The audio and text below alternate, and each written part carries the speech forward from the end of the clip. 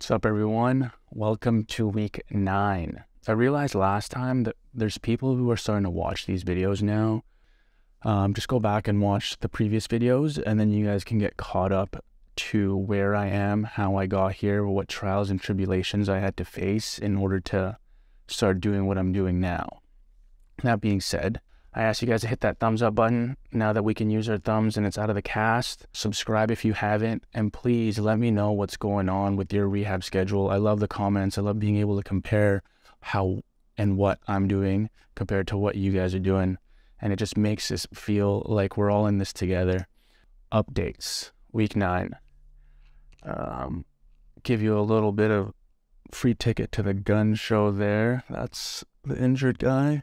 I can hold more of a flex now with him as opposed to before. Before, remember the whole the diesel? More like a Tesla now, just to slow and steady, you know? Compare that to the the non-injured side, and you can kind of see the the aesthetic differences there.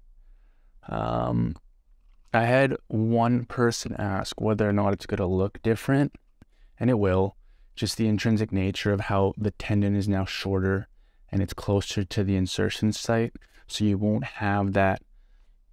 So, so here you can kind of see a little bit of a drop off when it's going into the crook of your elbow. Kind of see where that's supposed to happen.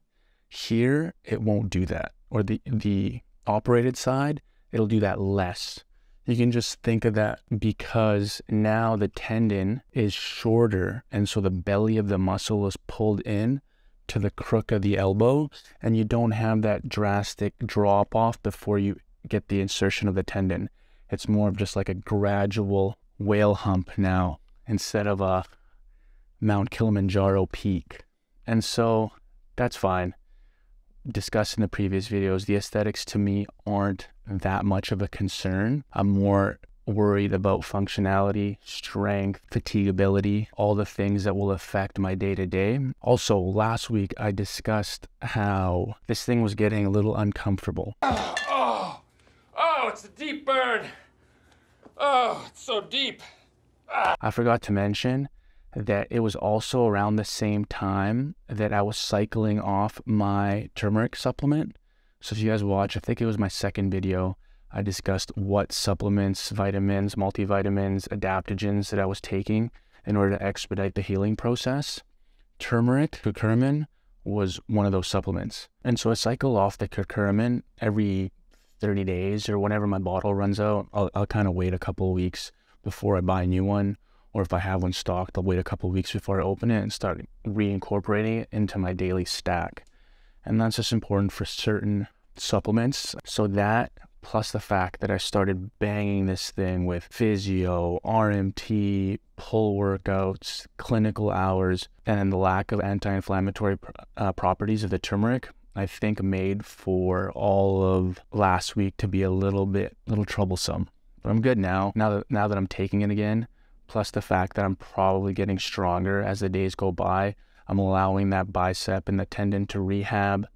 Um, I'm resting it before I go and start loading it again. I think it's the progression, you can kind of see it. And the recovery for this is so fast. I know it doesn't seem like that at the beginning, but once the ball starts rolling and you're allowed, you're, you're able to rehab it, you're able to, to load it, you're going to start seeing, like I explained in my last video, that your progression is going to ramp up very quickly. And so I'm doing the same, if not more, weights and exercises. I'm taking it further past the range of motion as before. You don't notice it as much. And so for me, that's just a sign of it getting better. So in this video, I recorded what my physio and me were doing during his sessions. I had two sessions that I recorded and we can go over. I can upload both of them. They're pretty much the same things just testing my range of motion to see how far my supination and my pronation was going. So I want to go over that. I also want to go over the difference between conventional physio rehab schedule, which is more so focusing on isolation exercises of the bicep, starting to load that up and then progress towards heavier and heavier weights. Whereas the rehab schedule I'm doing, the non-conventional, I guess you can you can call it, is you start with you start with a compound movement and then target the bicep indirectly from that. I want to explain why I chose to go that direction as opposed to the conventional and the drawbacks to it that I think you will encounter unless you you are aware of it. Let's start with the rehab. I mentioned in one of my comments that I felt that my pronation and supination came back 100% around week 6. That was a lie. At least I thought it did. I didn't realize what I was doing during the movement to compensate for the lack of mobility in that certain range. And so it took my physio to point this out. And it also took him putting me in front of a mirror and showing me what the body was doing in order to compensate for the movement. So if you, first of all, you, when you touch your supination and pronation, you should have your elbows by your side. And I'm just going to adjust the camera here so that you guys can see me. So you should have your elbows by your side here as opposed to just flat down.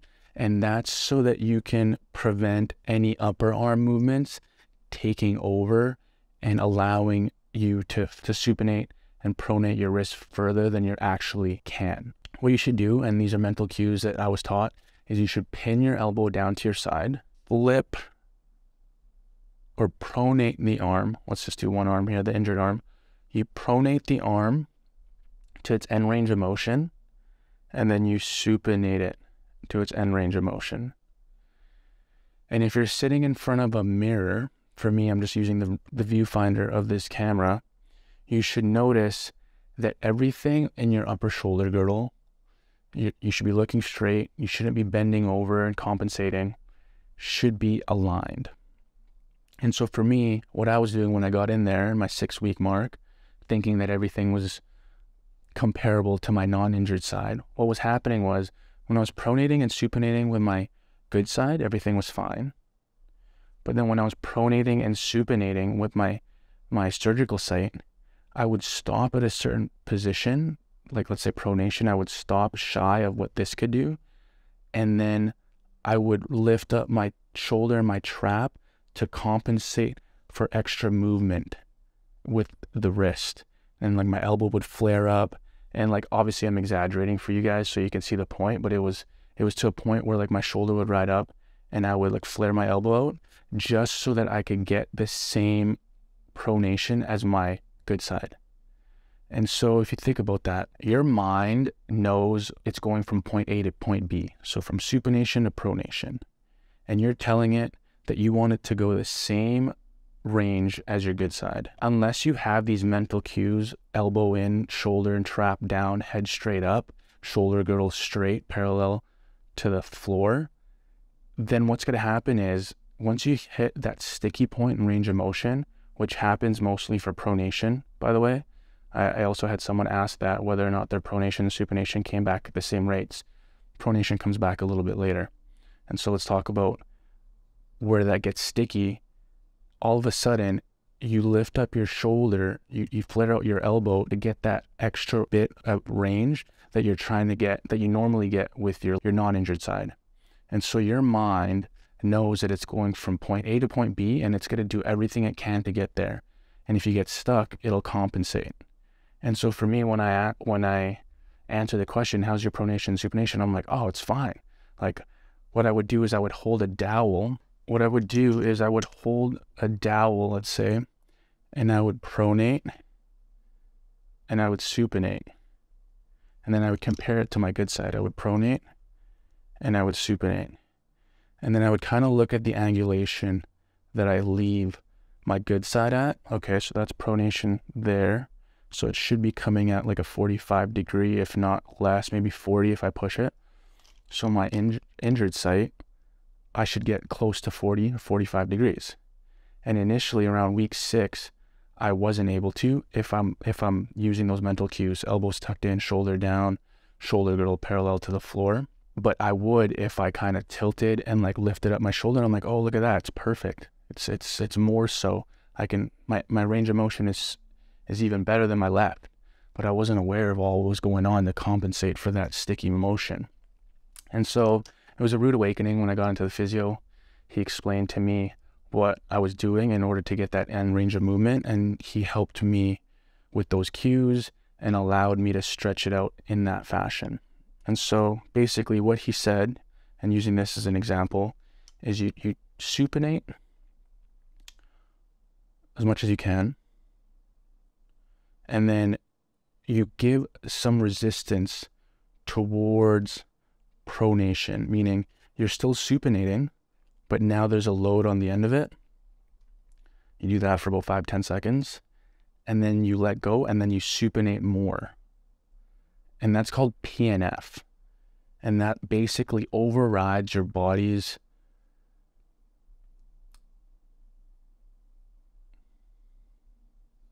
safety system to not push past a certain range of motion. So by loading the antagonistic muscle or the antagonistic movement, it allows for more of the range of motion you're trying to accomplish. And you can do that for the opposite. So for trying to do extra range of pronation, and here you want to make sure that all your fingers are in line.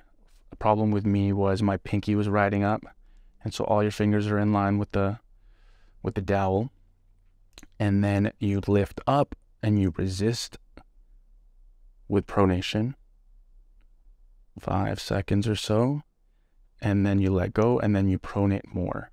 Again keeping your elbow tucked in shoulder girdle down head looking straight. And you just do reps of that. Just do reps of that and then that will allow your pronation and supination and your tendon to stretch throughout its its range which is what we want.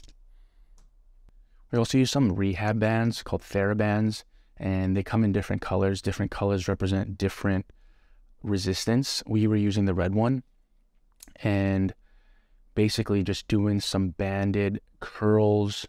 We would uh, angulate the band so it would come down to the opposite side of the feet, and you can kind of see it in the video here. And then we would do pronation, resisting with supination, and vice versa. Supination, resisting pronation, pronation, resisting supination. And that felt good. That felt very, very controlled and also felt like it was strengthening a very weak movement in my body. And so that was basically it. We did that for two weeks. We haven't really progressed into anything because it's still lacking in those movements. And I think that by taking it slow for that will help and it will complement the the expedited compound lifts in the gym. And so that's a good transition into speaking on the topic of what I feel the difference is between the conventional physio rehab process and the expedited compound loading rehab process, which is what I'm doing now. So, the conventional physio rehab process, you basically isolate the bicep with either cable curls or uh, dumbbell curls slowly up until you get strength in the bicep. And then once you have comparable strengths to either side, which can take up to six, eight, ten weeks sometimes, depending on how fast and how stringent you are on your exercises. Once that is comparable, then you can start doing compound lifts, uh, bilateral movements, and um, start incorporating your normal workout routines. But up until then, it's literally isometric loading, isolation of the bicep. Now, I think that's great. I think that it's tried and tested, it's true, and everyone who's anyone who's going through this is usually following that type of rehab schedule. But once I injured myself, I started collecting data through either papers, studies, anecdotal evidence through other people's rehab schedule and and recovery process. And I also started following powerlifters who had gotten injured and their and their recovery process. And I started to see that these people were jumping back into the gym way faster than the conventional physio rehab schedule. Obviously they're they're super athletes. They train. It's what they do for a living and so I'm not comparing myself to them, but what it made me realize is that it can be done. It's you don't necessarily have to start slow and ramp your way up you can kind of do them simultaneously. You can do compound lifts while strengthening your bicep and isolating it. And so, again, I reached out to the people who everyone was referring me to, Dr. John Patrizio, and he laid out the I want to call the Dr. John Patrizio method or the compound loading expedited rehab process, I guess is another way of calling it. But it made sense to me. Now, I've been doing it for the past little bit, a little bit shy of a month now. I'm coming out to the end of my ninth week, and so far so good. It's allowing me to stay active and be, be active quicker than if I were to do the conventional rehab schedule. But there are things that I've noticed during that need to be pointed out. As I explained earlier, during the pronation and supination, unless you're aware of what you're doing, you won't realize that your body's compensating movements by shifting and tilting other parts of your, your body, shoulder joints, neck joint, your hip joint, even to like kind of push you over the edge. Again, exaggerating the movement, but you get the idea. And so the same thing can happen during a compound movement. If you're benching, and again, biceps are stimulated in that movement very lightly, but they are. If you aren't aware of all of your cues on like how to properly bench and how to keep your shoulders back pinned, keep your chest flared up, and push through the bar, grip it right, like all these cues that you need in order to to lock your body into the proper mechanics you could get into trouble when you are doing compound lifts with a weak bicep. Because what's going to happen is by not doing that and just going under the bar and pushing you might compensate for a weak muscle by active by over activating other muscles. And so that's kind of the trade off for jumping into compounds right away. I think if you are inexperienced or if you're someone that doesn't really have a good background in, in weightlifting and training and you're, you're jumping into this as well as trying to learn the movements and, and the cues for these compound exercises, it might not be for you. Now, I'm not saying I have the best form, but I do feel that I have the fundamentals down in order to apply this rehab process. So again, for, for pulling motions, you need to be aware that your, your traps are down, your shoulder blades are pinned back, you're coming in with the movement, you're squeezing at the top. Again, it sounds easy to do, but once you're in that position and you're doing it for reps on reps on reps on reps, you might lose focus. And once you lose focus, other muscles are going to fire to compensate for a weak muscle. And that could lead to muscular imbalances down the road there's a trade-off for everything. You can jump back into the gym quick, but you have to be aware of all of your movements and you have to be aware of your form. Or you can take the slow and steady approach, training your bicep to strengthen to a point where once you get under the bar for a bench press, even if you don't have those cues in, the chance of you overriding a weak bicep will no longer be there because the bicep won't be weak. And so you, you pick and choose your battles.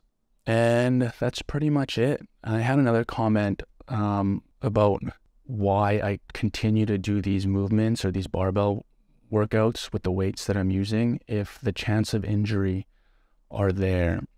And I feel like that's kind of a loaded question. You don't know, you don't go into these workouts thinking that there's a chance of injury. I mean, at least I don't. Otherwise, you're just you're just gonna be stressed. Like if if every time you go to pull the bar on a deadlift, you think of your biceps tearing, it's going to be a rough pull day. And so I think that even though there is a risk associated with barbell movements, I think if you take the right precautions, you're, you're warmed up, you're hydrated, you you stretch, then you can minimize those risks and still gain all the benefits that there are with respect to that movement. And that reminded me when I first started coming back into the gym, and my arm was in a sling. I was doing leg workouts or I was working on my opposite side, as you guys know. I had diff- two different groups of people come up to me.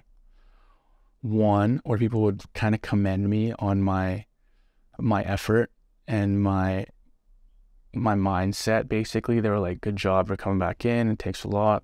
Proud of you. Keep going. You'll recover fast." And like very positive. And then I had another subset of people that came up to me and they're like, What are you doing back at the gym? Go home, rest. Like, you'll get it back later.